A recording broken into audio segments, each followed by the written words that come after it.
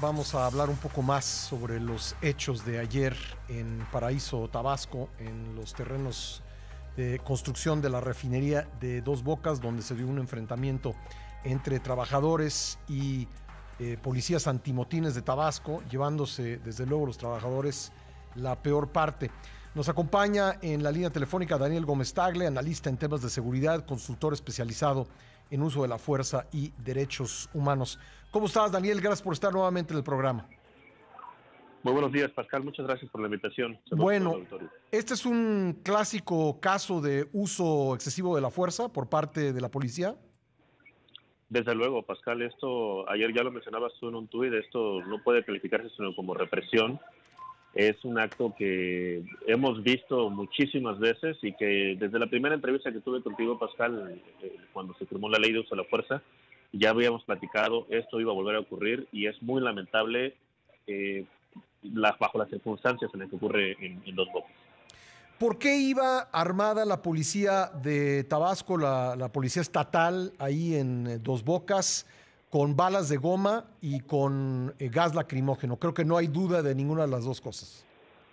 No, definitivamente. Iban, iban equipados con equipamiento antimotín, lo cual desde una perspectiva muy general, Pascal, corresponde al escenario. Y el problema no es qué es lo que llevaban, sino que lo usaron terriblemente mal. Yo, no, yo he visto los videos y no veo un video en el que los policías utilicen el equipamiento tal y como fue diseñado o tal o como lo permite la ley. Todo fue discrecional, no se aprecia capacitación, no se aprecia el conocimiento de los policías de las consecuencias y desde luego el hecho de que actúen de esa manera significa que no tienen temor alguno a las responsabilidades administrativas eh, que, de, esas acciones, ¿no? Y, y, es algo que la ley nacional perpetúa. No hay responsabilidades para esos abusos.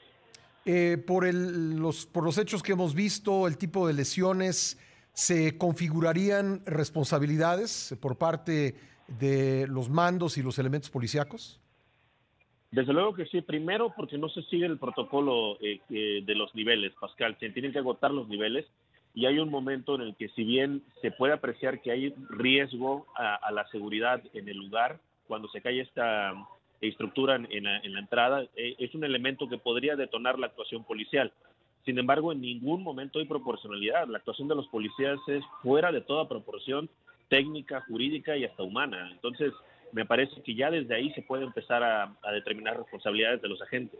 El gran problema, Pascal, es que los agentes están haciendo lo que se les enseña a hacer y vamos a terminar con lo mismo de siempre, a pesar de que ahora existe una ley, vamos a terminar culpando, responsabilizando y despidiendo a los policías que dispararon esos, esos dispositivos eh, de impacto, en lugar de tener un cambio real, que es que el Estado asuma la responsabilidad de la capacitación y del equipamiento que les está dando a los policías.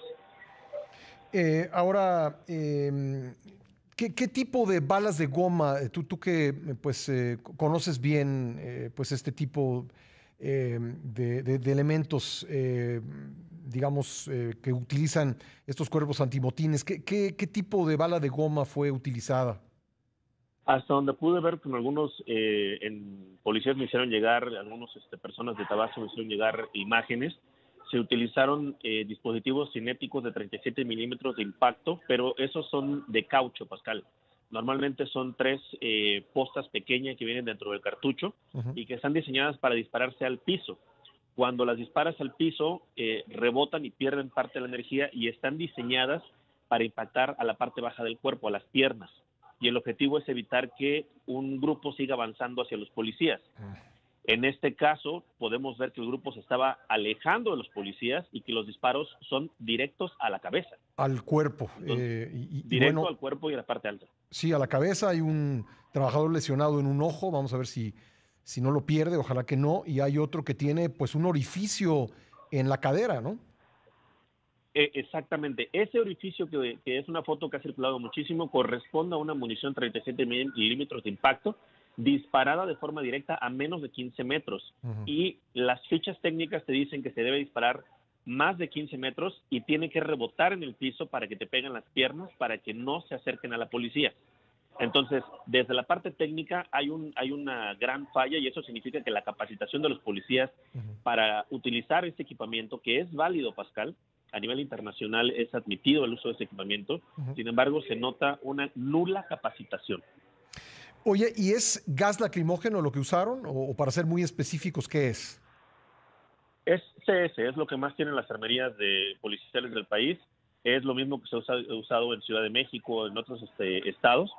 Es lo que se conoce como gas lacrimógeno. También está permitido, Pascal, y eso es muy interesante, porque está permitido por la Convención eh, para la Prohibición de los Agentes Químicos, que tiene como origen el uso de agentes químicos en, la guerra, y se hace un apartado específico de los agentes químicos de uso policial, donde están el CS y el CN.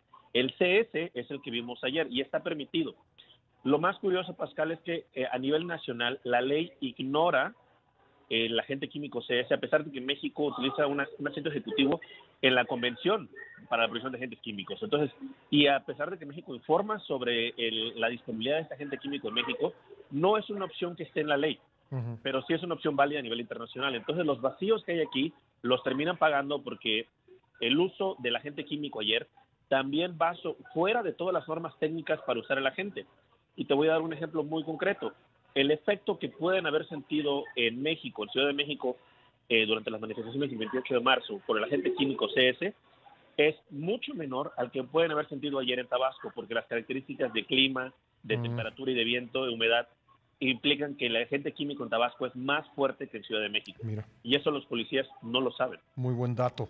Oye, por último, eh, me quedan eh, menos de dos minutos, pero quiero preguntarte, siempre hemos hablado contigo que, de acuerdo con la ley de uso de la fuerza, pues esta tiene que ser proporcional. Eh, ha, habido eh, pues eh, versiones, yo creo que bien documentadas, de que en algún momento los, los trabajadores tomaron escombro y lo lanzaron contra los policías. ¿Eso justificaría la respuesta? Eso justifica una respuesta, pero no la respuesta que vimos. Yo he visto videos y sí, ayer lo señalaba, hay situaciones que dan pie legal para que la policía actúe en el marco de sus funciones, en el marco de sus obligaciones, pero yo no veo razón alguna para la proporción en la que actúan. ¿Es un acto de represión lo que se vio ayer?